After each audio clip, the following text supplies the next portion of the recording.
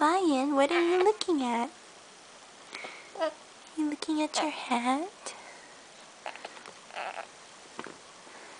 Is it making you cross-eyed? A little bit. Oh, you don't want me filming it.